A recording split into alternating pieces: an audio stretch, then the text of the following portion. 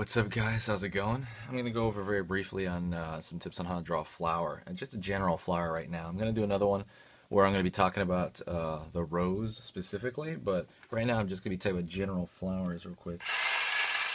And um, the way I tend to handle flowers um, in any given statement, I usually think of, I usually split them up into two.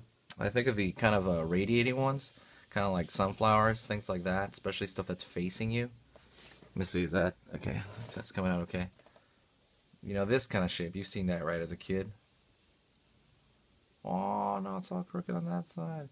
You've seen that, right? Stuff like sunflowers, depends how many petals they have. Uh, or I break them up into that kind of rose thing where they wrap around. The petals all kind of wrap. I don't know how to say this, but like around a cylindrical object. You know what I mean?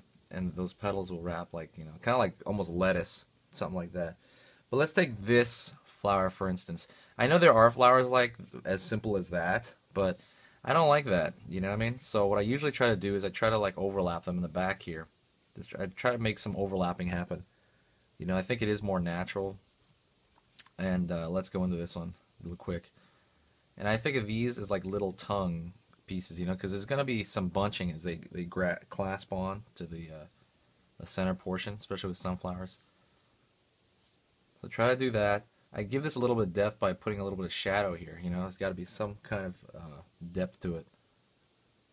I mean, there doesn't have to be, but I, I just want there to be.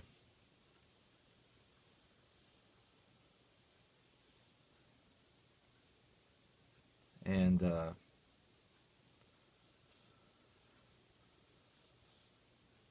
yeah, I want there to be some sort of depth, some kind of roundness to it.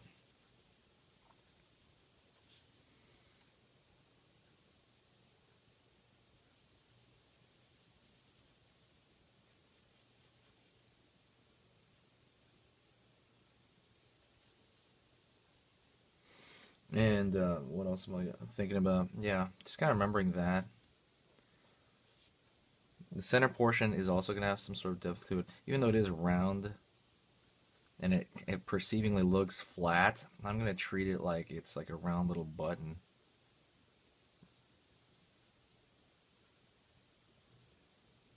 You know? Yeah, even that, that petal's a little bit too big. And I'm going to be thinking about the light hitting it. You know, where's it going to be hitting it from and what angle, that kind of thing.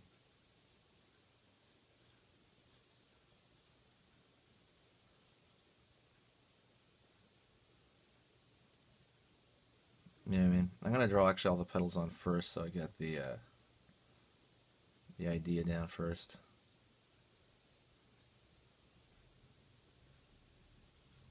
Oh snap! See that that's that petal's gigantic. That's too much.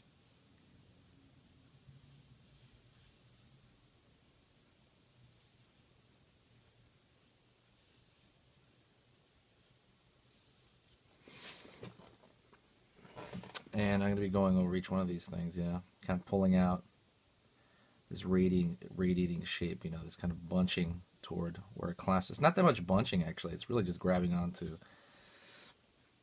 it's really just grabbing onto the side, but I don't, I don't really see it as very, uh, very crunchy toward the end. Very bunchy, even where it attaches. It's kind of bunching, but not, not a lot.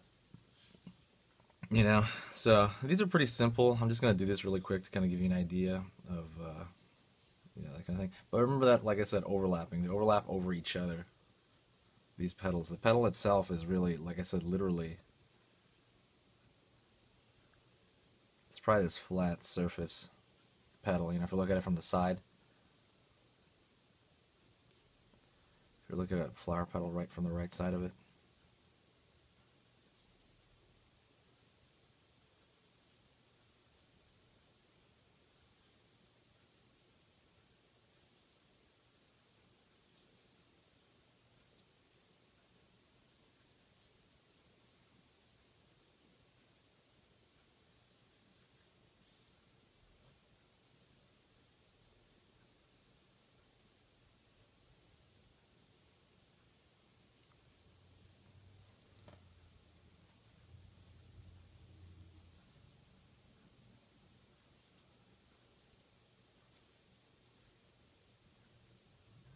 So, anyways, that's just like a radiating petal. Like, for that kind of flower, I usually do that. I like the overlapping.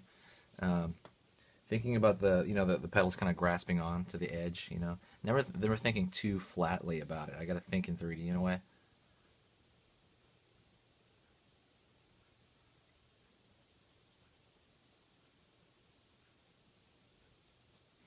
Um, in terms of these, yeah, I imagine that flower but closed. You know, I mean, think of like a sunflower closed up, and so because of that, you're gonna have uh, whatever kind of flower this is, whether it be rose or whatever. It's gonna be the same kind of flower except bunched together. Because of that, they're gonna be, they're gonna wrap around each other. You know. And there's really no way to. There's really no other way to say that. Really, they will just imagine that one closed up.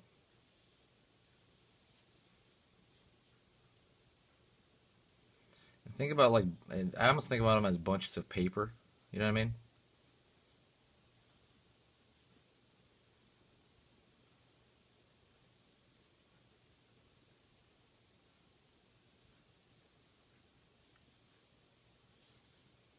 You know what I mean? And then um, I think of it overall. It's again, it's very similar to like lettuce or something like that, where it becomes this one. It, since they're bunched together, it becomes one object. Because of that, I kind of shade them as one object.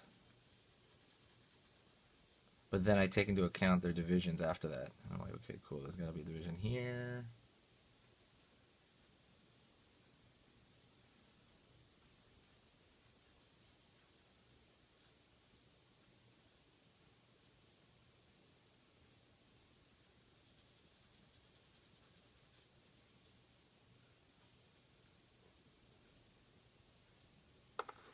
You know what I mean? Um, that's just the idea of it. I'm gonna do a full-blown uh, rose demonstration in the next video, so watch for that. But remember, any like I said, type of flower in that way that bunches up, it's gonna be it's gonna be one layer over the next, over the next, over the next, over the next. Just imagine paper crushed together, not crushed, but smushed together.